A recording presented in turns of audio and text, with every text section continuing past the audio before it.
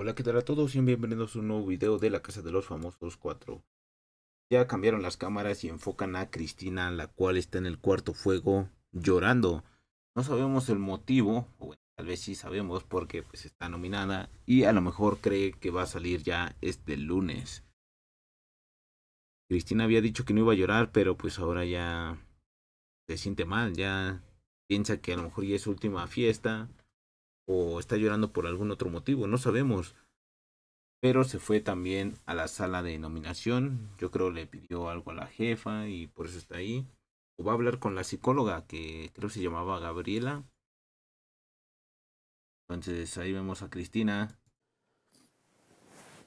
llorando. Para arriba. Para arriba, para arriba y se seca las lágrimas y se va. Y aquí la vemos entrando ahí al Zoom, al Zoom,